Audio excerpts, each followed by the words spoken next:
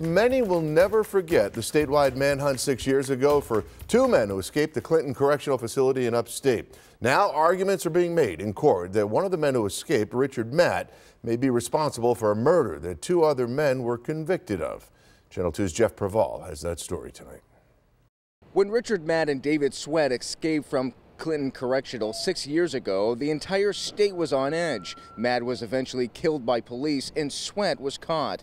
Now in state Supreme Court, questions are being raised of whether Matt may be responsible for the murder of Deborah Meindl in 1993 in the city of Tonawanda. According to a Buffalo News article from back then, two men, James Pugh and Brian Scott Lorenz, were accused of strangling and stabbing to death Meindl who caught them burglarizing her home. The state's inmate system says Lorenz was sentenced to 37 years to life. Pugh has been out of jail and was in court today. That's him with the black hoodie. Pugh declined to do an on camera interview, but when I asked him if he had any comment, he responded that he's always been innocent. They didn't know the Meindl family, they never went to their house.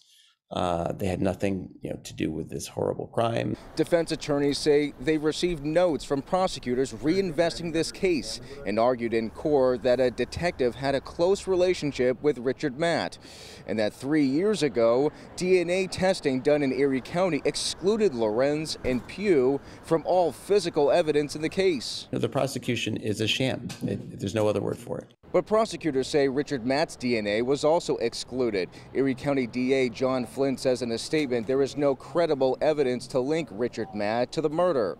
The DA does say two prosecutors who were on the case were taken off of it and reassigned because according to the DA, they didn't see eye to eye on the case with top prosecutors. The DA says at this point there is no new credible evidence to warrant the case being vacated or reopened. Now, defense attorneys say that Lorenz should be released immediately. However, State Supreme Court Judge Christopher Burns says that he's going to review documents related to the case. He has set a temporary hearing for December, and defense attorneys say that they are interested in calling David Sweat as a witness. In Buffalo, I'm Jeff Preval, Channel 2 News.